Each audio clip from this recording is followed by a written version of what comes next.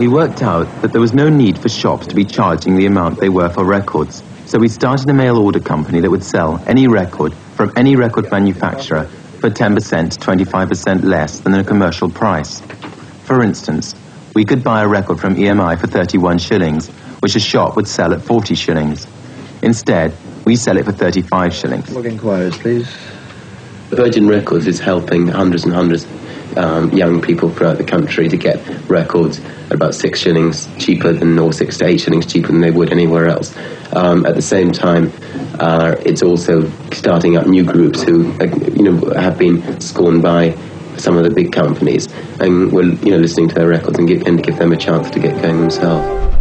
If you want to see an awesome clip of a young David Ogilvy, check out the video right there next to me. I think you'll enjoy it. Continue to believe, and I'll see you there. These two worlds are on a collision course. You direct response people know what kind of advertising works and what doesn't.